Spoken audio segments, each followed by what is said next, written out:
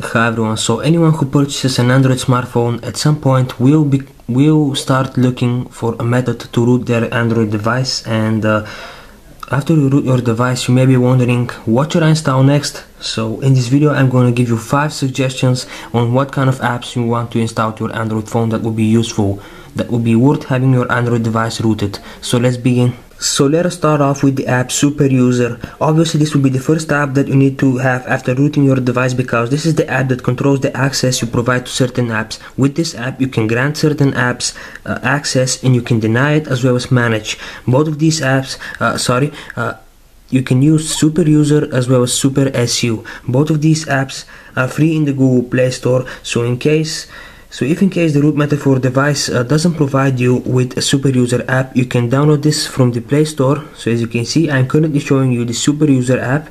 There is also super SU, which you can find in here. All of these, like I said, are being offered for free. So you can just go here and install them.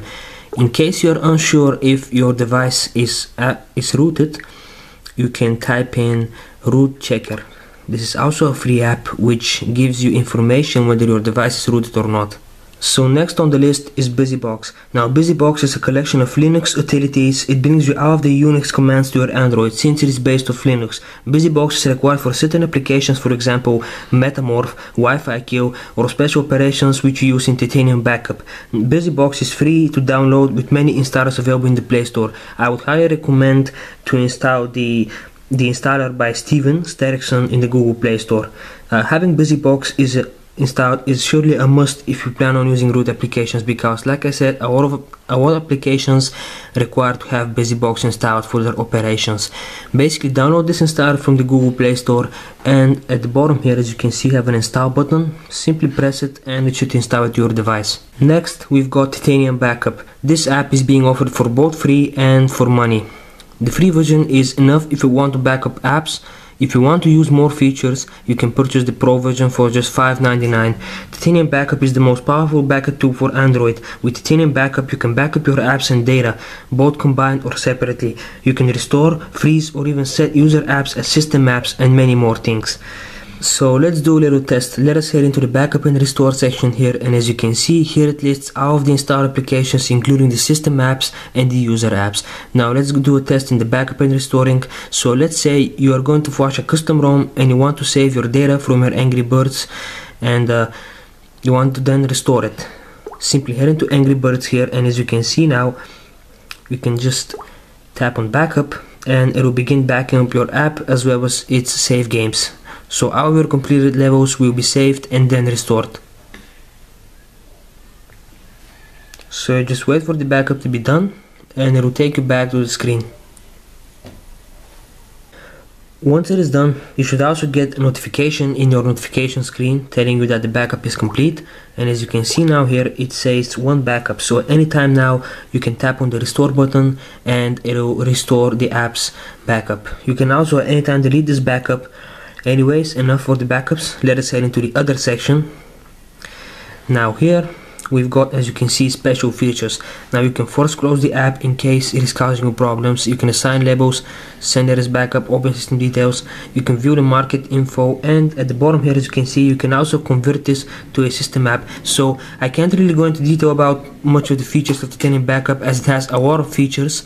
I just show you the basics Next we've got no-frills CPU control. Now this is a tool that you can use on device to change the CPU frequencies as well as the governors. With this app you can increase the max frequencies of your device uh, which allows you to boost up the performance or you can scale it down if you want to save some battery. If you happen to be on a custom kernel that supports overclocking you can even increase the max frequencies here. Now as you can see at the moment I am not on such kernel, I cannot overclock it at the moment. The max is just 1.7 gigahertz and lastly, you can enable this option here to have these frequencies and settings applied upon boot. And on the top right corner, as you can see, it is taking you to a stats page in which it shows you uh, how much of the frequencies are mostly used. So the mostly used one is the uh, 810 megahertz as you can see. You also have some options. When you go to the settings here, you can change the theme. If you don't like dark you can put it to light light and dark and some other stuff in here And lastly, having a root browser app is also a must. In this in this video I'm presenting you a root browser. This is made by the popular developer JRummy. It is a file manager made specially for the root users. With this app you can browse Android's file systems. You can cut, copy, cut, paste, open and edit files. You can set their permissions and many more. This app is considered a good a good free alternative of the popular app Root Explorer as it costs money. With the help of this app you can pull out system files with your system partitions and modify them then put them back. You can also share these system apps with certain friends to test them on their devices if they need and so on. So let's do a little test. So for example, let's say I want to copy some app from system. I'm gonna head into system, app. As you can see here, I have all of the APK files displayed and let's say I want the assistant menu APK. You can long press, you can copy, then press the back button. Let's head into storage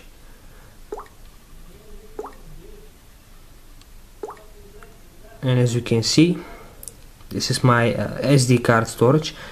So you can just go here. There we go done. And now when I enter my files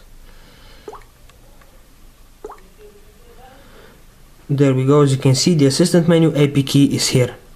So yeah this app functions completely free it just needs to download a few files when you first install it and that is all and there you have it 5 useful Android applications for rooted users. All of them are being offered for free and they are highly recommended to start off with. Thanks for watching and goodbye.